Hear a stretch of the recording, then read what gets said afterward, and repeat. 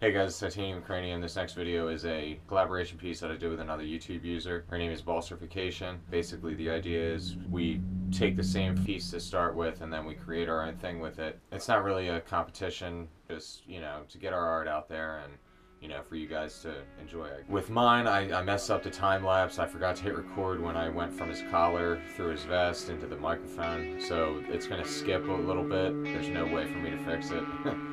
but uh, yeah, other than that, I hope you guys enjoy it.